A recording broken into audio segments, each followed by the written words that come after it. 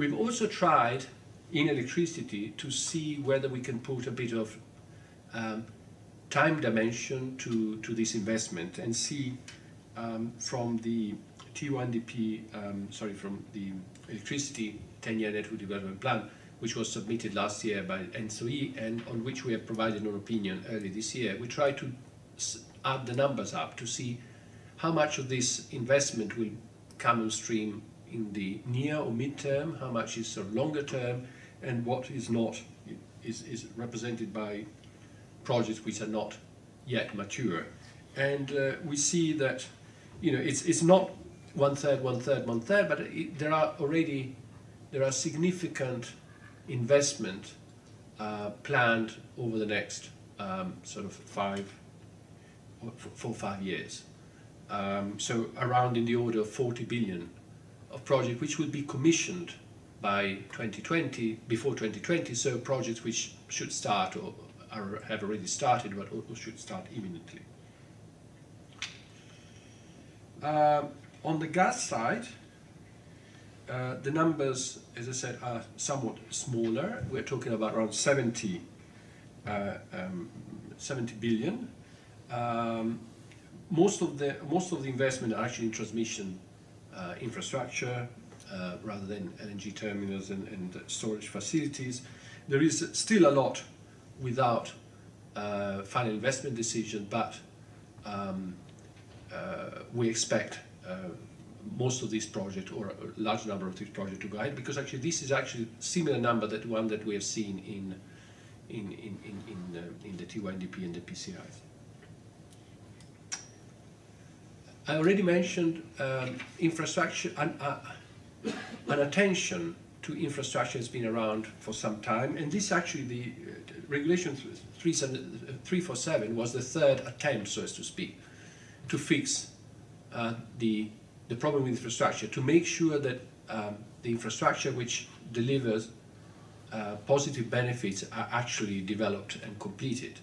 The first attempt didn't work very well. The guidelines from 2006, where there was a long list of projects, which at least my reading was that they were mostly, uh, the selection was mostly based on political considerations. I'm not sure how much there was of economics in that. Um, and there was no provision for, for, for, this list to be revised. So it was a list which was set up at some stage, didn't make much difference, and it was sort of lost steam as, as, as time um, passed. I think the importance of the third package with TYNDP is that um, there is clearly a consistent approach at European level. Uh, there is clearly a, an explicit consideration of the net benefits that these projects should deliver, even though it has taken some time before the methodologies for these to, to be assessed, for the benefit to be assessed, um, were, were prepared. Um, and uh, well, as I mentioned already, a strong European dimension. Uh, the new regulation on guidelines for 10 European energy infrastructure is actually based on the third package. I mean, I've heard people say, oh, because the third package didn't work, we needed, we needed something else. It did not address some aspects. It did not address, for example, the long delays in the permitting process. But on the other hand, uh, the PCI process can only work because there is behind it, there is the TYNDP, there is a, a, a, sort of a stronger European dimension in network planning at European level. So I, I think this is the way in which uh, I like to interpret 347. 347 has three important components. Um, it has um, a streamlining of the I'll come to that actually, but as a streamlining of the um, permitting process. It has um, the possibility of reallocation of costs between beneficiary countries, which was not possible or not obvious, obviously possible beforehand, and the fact that some projects were insisting most, most, more in some jurisdiction but benefiting more other jurisdictions uh, had actually created, you know, blocked this project because there was no convenience for some of the countries involved in developing this process. Uh, projects and, and then it has the financing part. But in my opinion, the financing part, even though it has attracted a lot of interest, is probably not the most relevant. It's not the one that will make the difference, but we will see. Uh, focus is actually on a number of corridors or thematic areas, um, both for electricity and gas. You, you, you, know that there are eight geographical corridors. There is in both electricity and gas, there is a sort of north-south interconnection both in Eastern, Eastern and Western Europe. Um, and then there is uh, the, um, the, the uh, Baltic area, uh, clearly a critical part of the European Union, with the Baltic countries in most in most instances being disconnected by the rest of the Union and relying heavily on, uh, on, on, on Russia. And then in the case of electricity, there is the sort of northern seas offshore grid uh, grids uh, with its initiative, and in the case of gas, there is the southern corridor, the corridor uh, for bringing um, gas to, to, to Europe from Central Asia, from, from Russia through, through the southern route. So these are the eight corridors. Um, they are overlapping. Germany is actually in all of them. Um, and sometimes the definition is not obvious, but and, and, and some of them are very big. I mean, the, the, if you see here the maps, I mean, all of them covers, except for BEMIP, uh, all of them covers sort of half of Europe or more. Right. Um, now, what is the problem? The problem is that um, there, there was the perception of a gap uh, between what um, what is needed and what could be expected to, um, to, to, to, be developed. The gap is different for electricity and gas, is actually interestingly more in electricity, around one third of what is needed. Uh, the assessment of the Commission was that it would have not been materialized according to the sort of previous uh, regime, and in the case of, of gas it was around one, four, one quarter, one fifth. So um, the, the, the, need for new guidelines and the need for, the need for new instruments was uh, to make sure that this gap uh, was going to be filled. Um,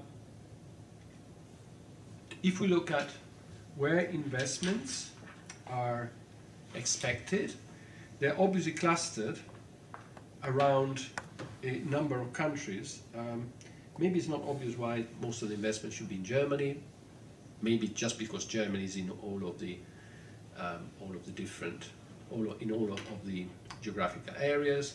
Uh, Germany, the UK, France, Italy, Norway, Spain, and then the other countries, but they're not um, distributed evenly. Even though, I mean, this is this is the sort of the, the, the, the, the investment, the expected investment. Even though, in my view, the value of investment is different. In some, in some regions, these investments are actually needed for security supply or even for security supply slash political reasons. Um, uh, in some areas, uh, security supply has also political dimension, and I'm sure all of you uh, understand what I mean.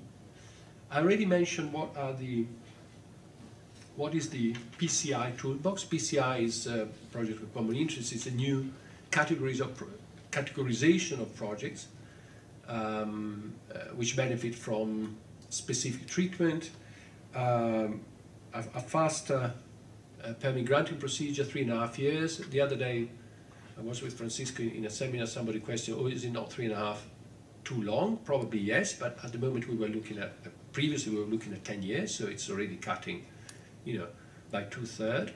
Uh, can we do better? why not? Two to three and a half years is actually the maximum. So if, and I believe that for very good projects, projects where everybody, including citizens, believe that there is value, there are opportunities to, cut, to, to, to have a, a, a faster procedure than, than three, uh, three and a half years. There is a more robust regulatory uh, support. As I already mentioned, cross, uh, cost-benefit analysis. So Already at the TYNDP stage, we want to make sure that projects which are included deliver positive benefit, not necessarily commercial viability. I mean, commercial, commercially, uh, commercial benefits are only part of the story. There are other benefits which may not be commercial, but still very valuable in Europe. Um, environmental benefits, secure supply benefits are difficult to internalize by private parties, but still so have to have a commercial value, but still are very valuable for Europe. Um, uh, CBCA, cross-border cost allocation, uh, already mentioned this as well. Um, it was the case in the past that infrastructure was not developed because the costs were accruing mostly in one jurisdiction, but the benefits were mostly uh, delivered in another jurisdiction. I will show you uh, an example under the new regime where a CBCA has actually reallocated costs more in line with benefits. So this is another important, uh, I think, um, innovation in terms of the toolbox. And then there is the, the financing, but as I said, that to me is probably not not as critical. CB, the CBA is now at the basis. It's not easy to do a cost-benefit analysis infrastructure. I think we all we have all realized it. We all knew, but I think we have realized. ENTSO-E and ENTSOG have actually worked hard to try to develop methodologies. I think they have done an excellent job, but still, we still have concerns and we still believe that there is room for improvement. They submitted their methodologies as expected on the 15th of, 15th of November 2013. We provided our um, our opinion at the beginning of 2014, the agency's opinion, and then the um, and then and then the board was passed on to the commission. CBA will be at the basis of TYNDP, will be at the basis of the selection of PCIs, will be at the basis of cross-border cost allocation. Therefore, it's an you know it's, it's a critical component of the process of making sure that what is planned, what will be developed, what will be paid is actually value for money. I think this is this is essential. Uh, and if it is value for money for Europe as a whole, there must be an allocation of cost so that the project is also value for money for every jurisdiction involved. And that's another key aspect. And that's why the cross-border cost allocation comes into play. Because we, we want every party involved, every country involved, every member state involved, to benefit or to share the benefit of a project irrespective of whether the project is located mostly in that jurisdiction and the benefits accruing somewhere else. Um, PCI, um, well, there are some general criteria, there are some specific criteria, perhaps you're already, you're all familiar with this, so perhaps I can go quickly with, uh, with the process. Um, it starts with the TYNDP, it was only the first round of PCI selection, the one that was completed in, in, in October 2013, did not require a candidate project to be a TYNDP project because the regulation came into force after the previous TYNDPs were adopted, so it was a bit of a, you know, a sort of early implementation, if you want. But since, since this time, from now on, it will be, um, this will be a requirement. Project promoters submit their uh, proposals, their projects. They have to um, they have to show how these projects meet the criteria for selection, and they also need to provide a CBA uh, for those projects which are submitted uh, at a mature stage. Uh, NRAs will have to check uh, the, uh, the application of the criteria and the cross-border relevance. Then it goes to the regional group. The regional group are the, the decision-making body. They are composed of member states and the commission, and at the end, the decision will be taken by the member states the commission, so it goes to them. They come up with a list, regional list. The regional list comes to the agency. The agency checks the consistent application across the different regions of, uh, of the criteria, and then we, we send it back to the, we provide the opinion and then eventually the member states decide and the commission adopts. It's a long process. Um, it would probably, I mean, in, in, in, the first list it actually was, was, um, um, was compressed within less than a year, but in general it should last, you know, from the TYNDP to actually the, the, the, the adoption of the list probably between 18 months and two years.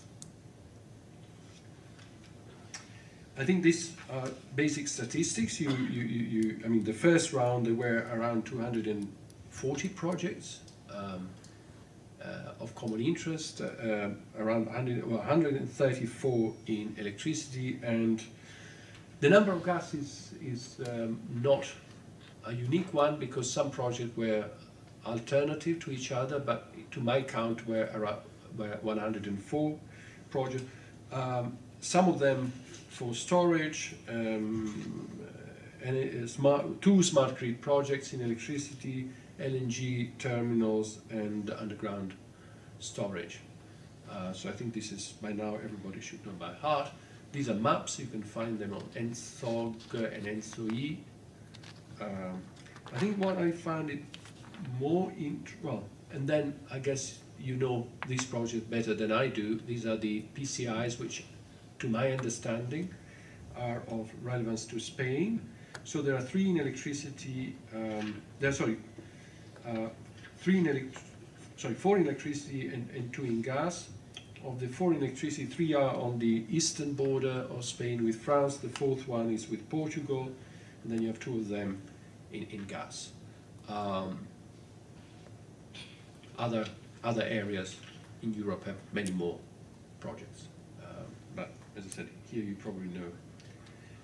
Um,